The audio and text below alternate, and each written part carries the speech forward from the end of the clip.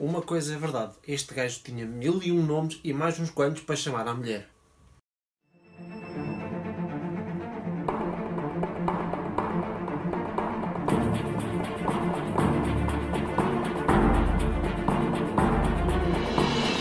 Portanto, Cartas de Guerra. E este é o primeiro filme português que eu estou a rever. Rever? Que eu estou a analisar neste canal. E é pá, realmente eu gostava de dizer que começava numa nota melhor, mas não é o caso. Este filme é daqueles que claramente não é para toda a gente, nem foi feito a pensar em, para estar num cinema. É um filme que é feito para correr festivais. E eu sei que ele foi a festivais. E aí faz todo o sentido, porque tem muita direção muito artística e tem muita escolha de diretor, vamos dizer assim, que é pá, funciona para a visão do diretor, mas não funciona totalmente para uma pessoa como visio... como quem está a ver o filme. Porra! Engasguei-me. Portanto, neste filme seguimos a história de um médico que está na guerra em África e a história toda ela é narrada através das cartas que ele escreve à mulher. E a narração está excelente. E a meu ver, tanto ele como ela fizeram papéis brutais tipo, a narrar os textos. E a voz dela dá um toque muito diferente ao filme porque epá, aquilo é mainly man. Tipo, é a festa da mangueira, que na guerra tipo, só eram homens. Tirando as tribos que um gajo vê lá e aí sim tem mulheres, mas pronto, é diferente. Isto é um filme que é muito lento e o pacing do filme é muito lento. E a verdade seja que eu, a dada altura no filme, eu estava a dizer onde é que isto vai e como é que isto vai acabar. Tipo, é um filme que não.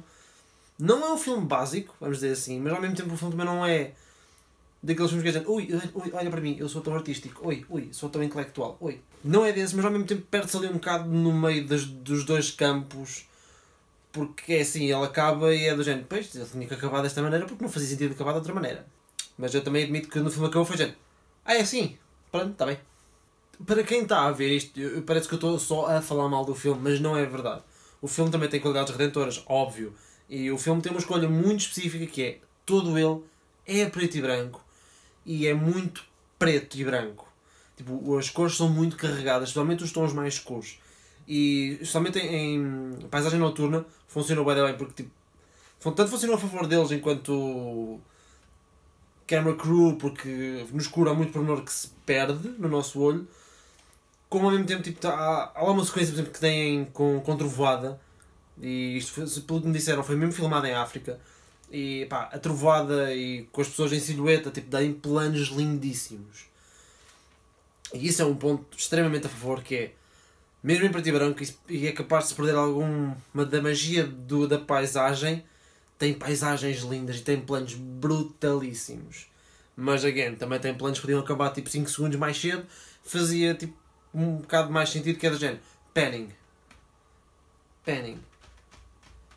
Continua. E foi ele, e continua. E da altura é do género, ok, isto é quase tipo, I don't know where this is going, but ok. E tem vários planos assim, tipo, tem vários planos que têm, a meu ver, tiveram um bocado de demasiado tempo de antena. Havia planos que eram longos, mas faziam sentido, porque no background estava uma carta a ser narrada, mas havia outros em que já não havia tipo, simplesmente barulho nenhum, sem ser o barulho de fundo, vamos dizer assim, e era extremamente longo. E a da altura dizendo, ok, next, já vimos tudo o que tínhamos a ver, vamos para a próxima. Uma coisa que este filme realmente fez bem foi também mostrar a época em que viviam. E desde do rádio passar uh, emissões da época, aos costumes que os povos tinham lá, as tribos, aliás, não os povos, aos costumes que as tribos tinham lá, tipo, ao mesmo, mesmo ao comportamento das pessoas. Made, made total sense e, e teve muito bem capturado. Mas, again, tipo, não é isso que vai fazer alguém ver o filme. E este não é um filme que eu realmente possa aconselhar alguém, tipo, olha, vai ver este filme. Até porque é um filme português e, tipo, a nós, para apoiar o que quer que seja, tipo, em Portugal, é do género, tipo, tens aqui, tens ali, tens é horrível, verdade seja dita, que é. Podiam ter feito uma distribuição melhor. Pá, não, não, punham à tarde só, mas punham a haver em mais sítios. Que não é o caso. Tipo, eu tive que ir ali ao Amoreiras porque era o único sítio que havia, nós. ou era isso, ou ia tipo ao El Corte Inglês, mas nem sei o que é que é aquilo, acho que é Cinema City, ou caraças. É um filme que supostamente é de guerra e tipo, não tem assim tanta sequência de guerra em si. Fala muito sobre isso. E, obviamente tem lá sequências de piu piu piu, de tiros, e vês pessoal tipo, a sangrar e vês pessoal a morrer. Mas não é isso a informação que tu levas do filme. O filme é muito mais o amor incondicional que aquele médico tinha pela sua esposa. E com as cartas eram a única coisa que o faziam tipo, quase seguir em frente naquela guerra. Tipo, cada altura tipo, que ele já não lhes faz sentido nenhum estarem lá. E tipo, é, uma, é um caso que é assim, vejam o filme para perceberem, mas é um filme que tem que estar mesmo muito virados para verem aquilo.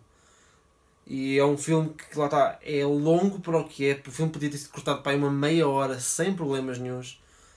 Que é um filme que a gente até foi ver no intervalo tipo, para saber. É um filme de 105 minutos tipo, em que lhe podiam cortar uma boa meia hora sem problema nenhum. Tipo, ficava um filme de uma hora e dez, tipo, perfeitinho. Mel. Deadpool tem uma hora e pico, tipo, também não perdeu absolutamente nada. Ganhou por aí. Neste caso teria sido a mesma coisa. Tipo, é bom ver um filme português que realmente teve um budget maior e teve um empreendimento maior. Tipo, tem muitos atores, tipo, filmado on location, com o cuidado de, das coisas de época serem de época.